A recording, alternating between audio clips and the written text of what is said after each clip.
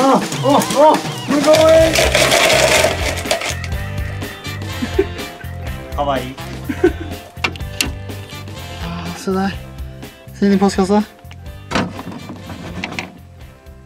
Jeg tror det bor en edderkopp her. Ja, der skal han bor her. Ja, Han, han er klar, han er klar. Hva er det du har med deg? Handleliste. Det er sikkert handelsstår. Han med en sekk jeg. Er redan blitt pensjonist allerede. Pensjonist. Det er mye- det er mye bedre å bære det sånn enn å bære det i handleposer. Jeg skal bare kjøpe meg en Red Bull, jeg. Det er min plan. Ja, ja, nå kommer vi ned til uh, krattet, så kommer det. Kaller det. Det her, det, det, her, se, det her er shady på vinteren, altså når det er glatt. Er det goblins her? Nei, ikke noe... Ja, men I'm going on an adventure. Nei! Hvor er ringen?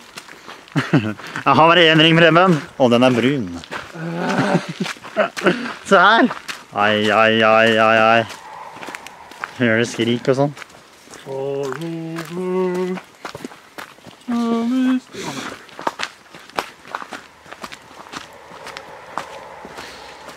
Se her, da. Hvis vi noen skal lage en grøssefilm, så skal vi lage det inni her.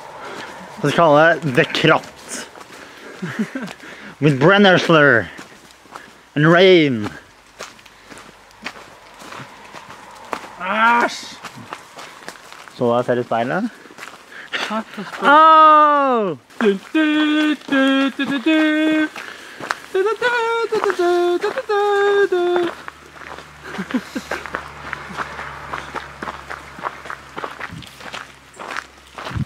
no, Dennis! No! Varsågod! Jag vill ligga! You shall not pass! Det regnar Dennis. Er ikke du vant med det? Jo. Har vi fortalt hvorfor vi må gå og ikke kjøre? Nei, det har vi sett. Fordi Det- Ruben er på ferie, og vi har ingen bil som går, og jeg gidder ikke å ringe mamma, for det er, eh, jeg føler jeg er litt for gammel for. Så da går vi. Eller er en dag, da. Ruben skal få meg få lov til å kjøre oss så sykt mange ganger! Da.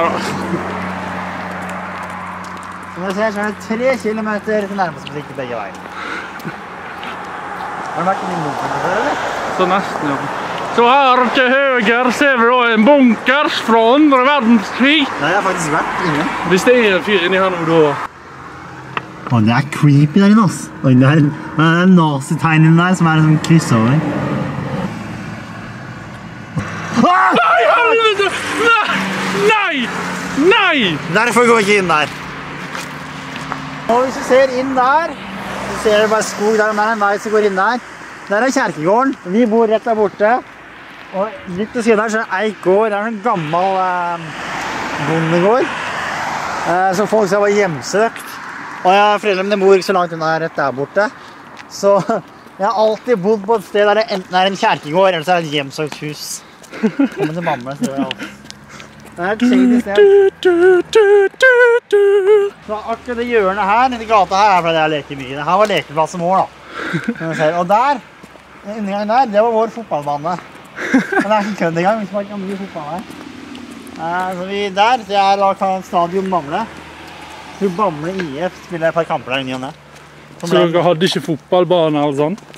Ja, det var jo en fotballbane, men det er så langt unna å gå, vet du, så... Jeg var mer så streetwise da, ikke sant? Så vi spilte på gata da, i stedet for. Det var, sånn, det var mer mord og dro, dop og sånn, ikke sant? Så... Wannabe Brasil, liksom? Ja, jeg skulle jo bli Ronaldo, Ronaldinho og eh, Fernandinho og eh, alt på ro og så slutte på dass. Det skulle jeg bli.